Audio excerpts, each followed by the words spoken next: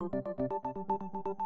Here's the main description attached to France's four terror suspects. The four terrorists, part of an Al Qaeda cell. The same cell that was sending jihadi fighters to Iraq and Syria. Sleeper cells may have been activated in the last 24 hours. So, what exactly is a terrorist sleeper cell? Sleeper cells are groups of terrorists, often funded by larger networks, who set up in a target country and wait for instructions, sometimes even years before taking action. This will go down as a kind of Pearl Harbor of terrorism. The term terrorist sleeper cell entered the mainstream following the 9 11 attacks. Authorities began pursuing what they believed to be sleeper cells hiding out in U.S. cities.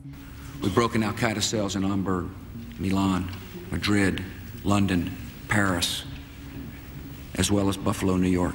The 9 11 Commission report revealed some of the terrorists that carried out the attack were once a part of an Al Qaeda funded cell in Hamburg, Germany. And today, sleeper cells are still a part of the conversation on national security. I think there are sleeper cells not only in France, but certainly in other countries, and yes, even in our own. In France, the suspects in the Paris attacks were thought to be members of the same terrorist cell, and there's talk of other cells being activated. These two incidents really are linked, both right now and in the past. It appears that the, the three gunmen that we know about were uh, part of one radical cell 10 years ago. CNN reports Chérif and Saïd Kouachi, the brothers suspected of attacking French newspaper Charlie Hebdo, were linked to a known Al Qaeda recruiter. In 2010, Chérif and Amedy Coulibaly, another suspect, also attempted to break a man out of prison who was accused of bombing a Paris metro.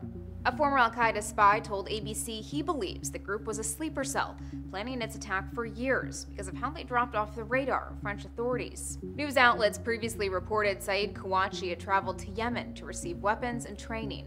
Both brothers reportedly claimed they were part of Al Qaeda in the Arabian Peninsula, or AQAP. That's Al Qaeda's affiliate in Yemen. That group later claimed responsibility for the Charlie Hebdo attack. For Newsy, I'm Elizabeth Hagedorn, multiple sources, a broader view.